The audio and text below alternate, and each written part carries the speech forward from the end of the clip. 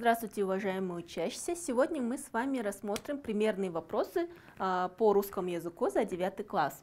И первый вопрос у нас – укажите предложение, в котором отсутствует тавтология. То есть тавтология – это у нас повтор слов. Рассмотрим в варианте А. Герой целеустремленно стремится к намеченной цели. Здесь у нас происходит тавтология, а именно где целеустремленно, то, есть от слова цель, да, и цели. То есть у нас происходит тавтология двух слов. Поэтому данный вариант у нас не подходит. Вариант Б. Чистое помещение новой школы производило своей чистотой приятные впечатления. Здесь у нас происходит тавтология чистое и чистотой. То есть данные слова повторяются.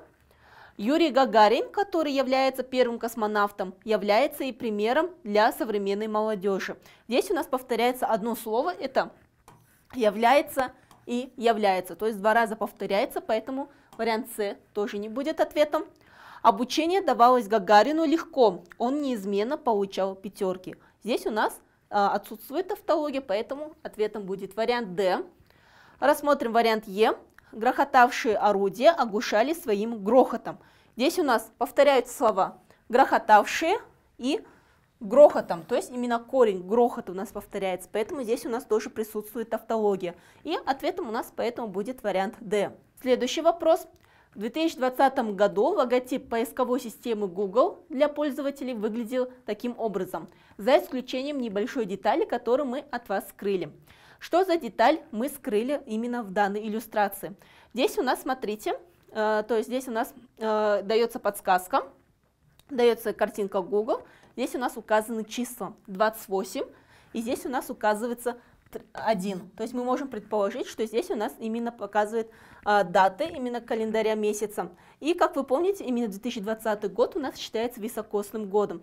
Соответственно, здесь у нас это указано именно месяц февраль, 28, то есть 28 февраля, потом 29, 29 февраля, и потом идет 1 марта. Соответственно, у нас пропущена цифра 29. И ответ у нас будет вариант С. Следующий вопрос. 12-е три, э, триеннале э, текстиля в польском го городе Лодзь состоялось в 2007 году, 13-е в 2010 году. В том же 2007 году состоялась 52-я Венецианская биеннале современного искусства. Какое по счету будет Венецианская биеннале в 2013 году? То есть необходимо нам определить именно номер, э, то есть Венецианской биеннале.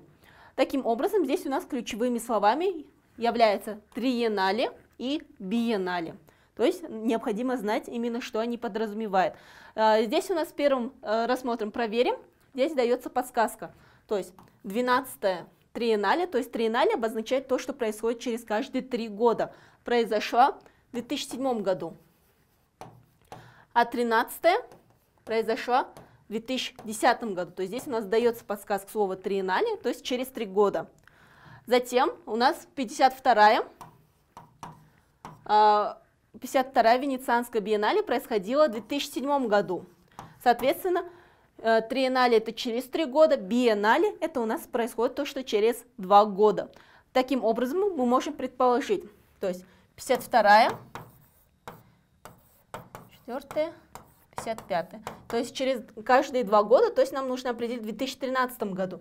2007 нам год, потом идет 2009, потом 2011 и 2013. Соответственно, в 2013 году у нас 52, 53, 54, 55 происходит именно 55 Венецианская биеннале. Соответственно, ответом будет вариант С, 55. Следующий вопрос. Определите из данного списка причастия, которые представляют собой исключение из общего правила образования причастий. Подписываемый, командуемый и узнаваемый. То есть даны три слова, обозначенными характерными для них знаками. Таким образом, э, здесь необходимо вспомнить именно каким образом у нас образуется э, причастие, а именно страдательные причастия. Они у нас образуются с помощью переходных глаголов, а, только именно э, с помощью только переходных глаголов. То есть это переходный глагол у нас отвечает на вопросы винительного падежа. Таким образом, здесь у нас даны уже страдательные причастия, мы можем их преобразовать в глаголы и определить, какие именно существительные к ним подходят. Например, подписываемый э, образован от слова глагола подписывать. То есть подписывать мы связываем именно слова что-то, да, подписывать что-то. То есть таким образом он у нас отвечает на винительный падеж.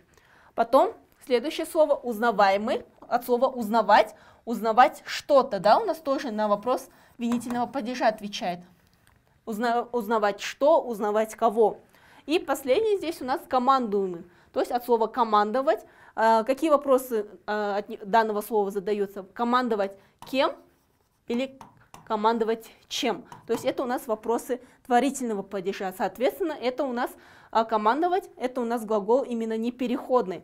Соответственно, именно данный, э, данное причастие у нас является исключением из общего правила. Соответственно, ответом у нас будет вариант D. Леонид купил разных видов рыб в аквариум и собирался накормить их. Он обеспокоен тем, что рыбы могут навредить друг другу, чтобы избежать проблем с кормлением рыб, он провел исследование, результаты которого показаны в таблице. Здесь у нас указывается таблица именно совместимости аквариума, то есть перечисляется, дается список э, э, именно названий рыб и как они могут э, с друг другом то есть совмещаться. Э, знаком Е у нас обозначает то, что они не причинят друг другу вред, а знаком D у нас обозначает то, что они, есть вероятность того, что они могут причинить друг другу вред. И H обозначает то, что они э, как бы точно могут причинить друг другу вред. И таким образом у нас задается вопрос, каких рыб Леонид будет кормить в одном аквариуме. В варианте А – бета и радужная рыба. Рассмотрим их совместимость. Бета и радужная рыба обозначены знаком D, то есть они, есть вероятность того, что они могут причинить друг другу вред, поэтому вариант А нам не подходит. Большой сом и рыба-мусорщик. Большой сом, затем рыба-мусорщик, также обозначены знаком D, поэтому не подходит. В варианте С бета и большой сом. Бета и большой сом также обозначены знаком D. Затем рыба-мусорщик и золотая рыбка. Рыба-мусорщик и затем у нас идет золотая рыбка, обозначена знаком Е. То есть они друг другу вреда не причинят, поэтому они подходят. Потом проверим золотая рыбка и скат. Золотая рыбка. И теперь рассмотрим их совместимость со скатом. У нас тоже стоит знак Е. То есть они друг другу вред не причинят, поэтому вариант D нам подходит. Проверим вариант Е. Большой сом и бета. Большой сом и бета. Здесь у нас стоит знак D, то есть они могут причинить друг другу вред. Соответственно, ответом будет вариант D – рыба-мусорщик, золотая рыбка и скат. В системе кодирования, состоящей из символов пики, трефы, червы, бубны, буквы N, O, U, K, L показаны следующим образом. А, то есть каждой букве у нас соответствуют э, именно определенные знаки. Таким образом, укажите слово, которое имеет следующий код. То есть нам дан код, нам необходимо по данному коду определить слова. Таким образом, нам сначала необходимо разделить данные знаки именно по буквам, чтобы мы смогли определить. То есть Первое, мы можем таким образом разделить у нас слова.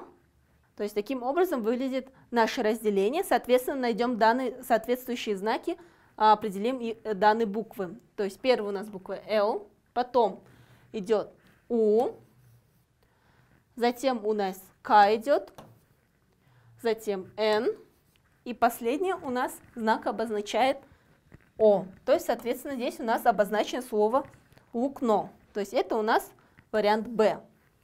Так, следующее задание, седьмое задание. О порядке трансляции продолжительности программ «Черепашки-ниндзя», «Щенячий патруль», «Сэм и Кэт», «Грозная семейка» и «Игроделы», транслируемых на детском канале Nickelodeon с 9 до 12 часов. Известно следующее. «Игроделы» трансли... транслируют последним в 11.20, в 9.30 транслируется вторая программа, это «Щенячий патруль», четвертая программа у нас длится 40 минут – Продолжительность программы «Черепашки-ниндзя» составляет 30 минут, «Сэм и Кэт» 20 минут. Третья программа у нас начинается в 10.20. Таким образом, нам необходимо определить неверное утверждение. Чтобы ответить на данный вопрос, нам необходимо определить, какое время, какая программа транслируется и определить их продолжительность. Соответственно, таким образом мы можем указать так, то есть обозначить цифрами 5 программ.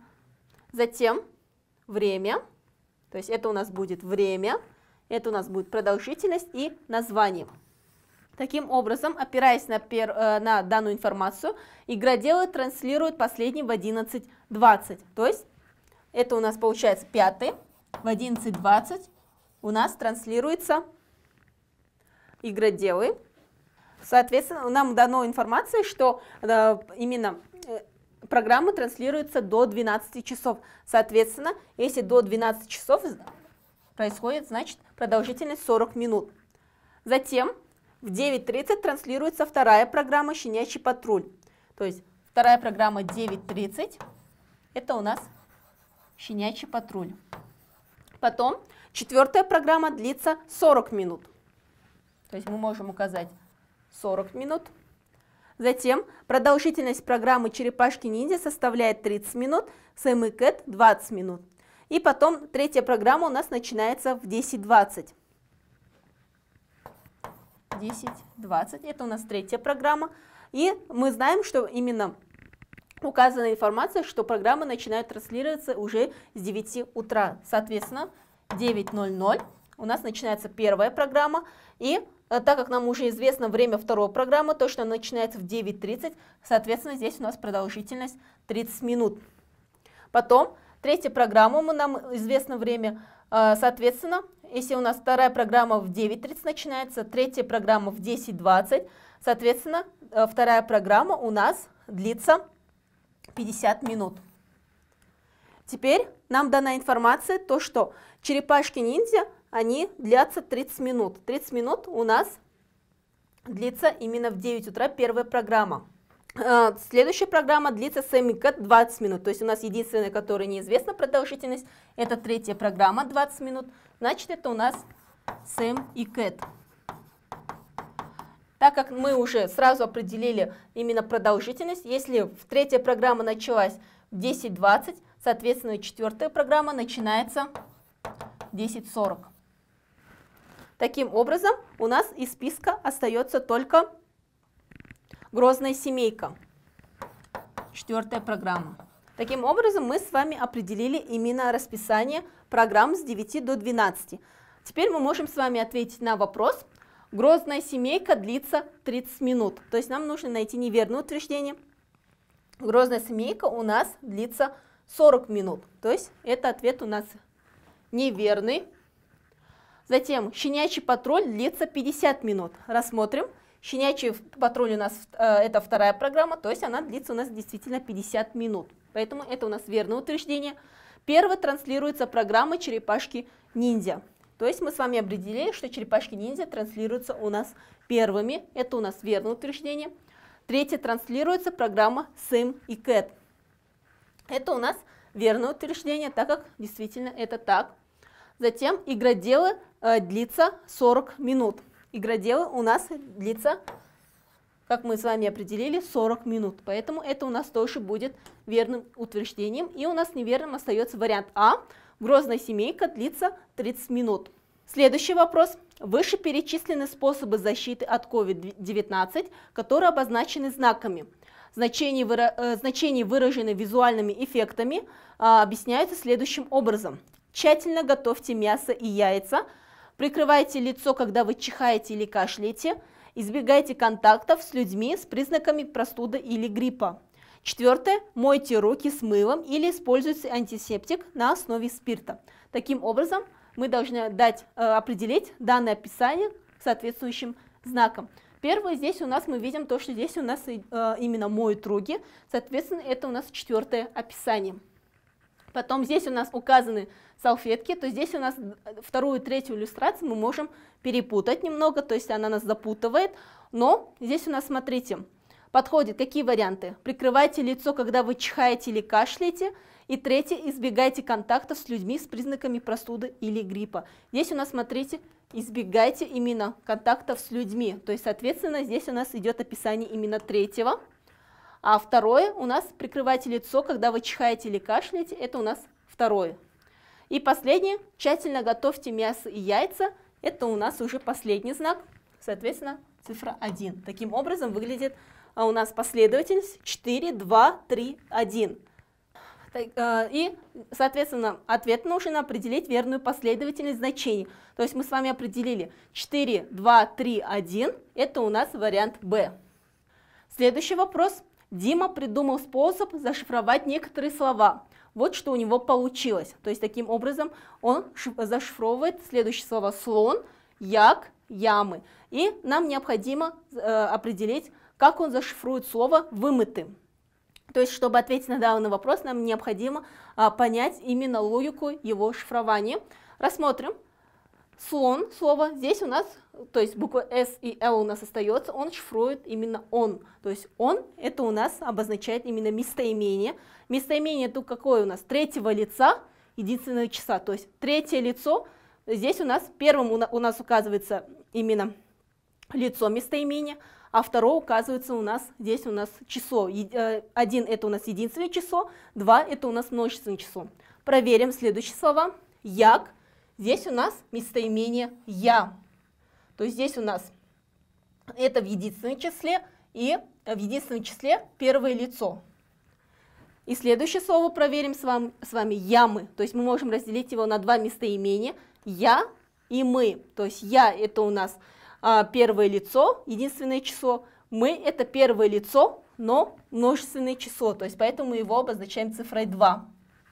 Таким образом, как будет выглядеть у нас слово «вымыты»? Здесь у нас три местоимения. Вы, мы и ты. То есть таким образом, вы – это у нас второе лицо, второе лицо и во множественном числе. Потом мы – это у нас тоже первое лицо, но во множественном числе. И ты – это у нас второе лицо в единственном числе. То есть таким образом у нас выглядит ответ. То есть 2, 2, 1, 2, 2, 1. То есть это у нас вариант С. Десятый вопрос. Установите соответствие между иллюстрациями и их описаниями. То есть здесь у нас дается а, картинки, именно которые изображают нам последовательность рисования данного робота, и дается именно описание, то есть действий. Нам необходимо определить а, какое описание соответствует какому рисунку. А, A. Нарисуйте несколько деталей на туловище, ногах, руках и лице.